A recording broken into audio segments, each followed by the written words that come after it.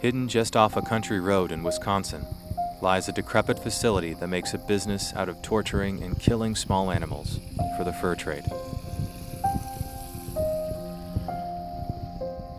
If those mink are stained and dirty, I'm losing 10 $20 a mink on that. A PETA eyewitness spent two months documenting the living hell that the animals there endure before being skinned to make a fur coat or collar.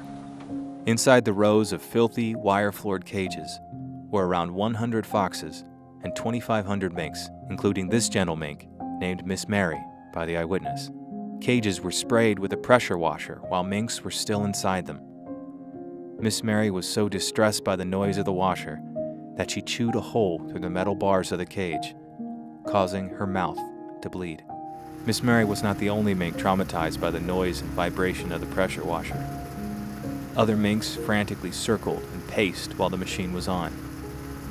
The cages often had over a foot of feces piled up underneath them.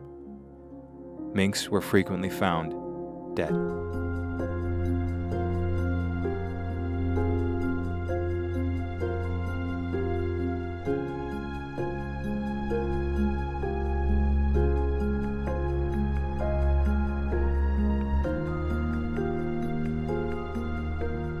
The foxes at the facility fared no better.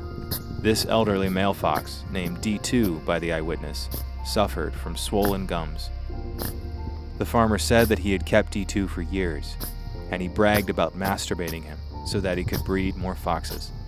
Just put them in a box and grab them by the pecker and jerk them a couple times and then they split it into a shot glass. I jacked them. Okay, I got you. I, I do that. Uh huh. And, uh, I'm one of, there's only seven of us in the whole world that can do that. D2 was killed in a makeshift gas chamber along with other foxes. Boy, he put a hell of a fight. Workers crammed dozens of minks into this metal drum at one time and pumped it full of dirty gas from a running engine, crudely suffocating them in mass. The farmer broke the neck of one mink who had survived the gassing. Another mink survived for 20 minutes before finally dying. Yeah, he's moving around, kicking around, like he's hiding underneath carcasses for air. Screaming, terrified animals struggled until the very end.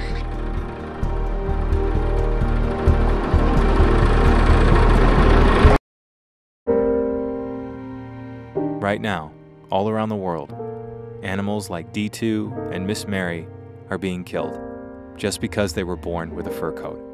Will you join us in standing up for them? Please, pledge never to buy fur and ask your family and friends to do the same. Never be silent. Thank you.